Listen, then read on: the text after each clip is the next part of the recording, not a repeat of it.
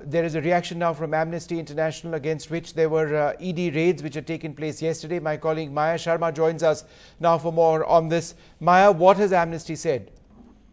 Well, Amnesty, like Greenpeace before it, which was also raided earlier this month, has totally denied illegally receiving any foreign funds.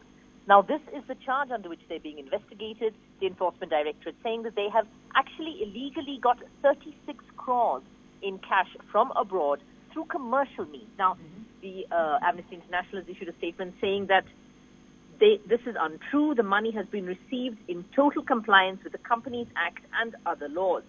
They also say that Amnesty International's bank accounts have been frozen by the Enforcement Directorate, effectively stopping our work. Right. And very strongly, the statement also says government authorities are increasingly treating human rights organizations like criminal enterprises.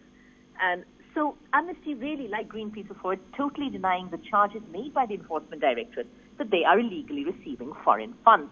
Both these organizations have been told they cannot receive donations and contributions from abroad. abroad. Both of them insist that all their funding is domestic.